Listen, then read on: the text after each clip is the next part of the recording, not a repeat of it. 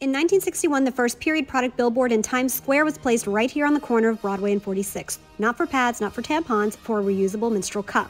Until today, color photos have never been shared online of this groundbreaking ad, and it took considerable effort to track any images down outside of this copy of a newspaper clipping. The Tassette cup used a tulip image to convey its message. Their first billboard copy read, Now a better way, not a tampon, not a napkin, with a tulip cup and droplets falling into it, plus a hand holding the storage pouch.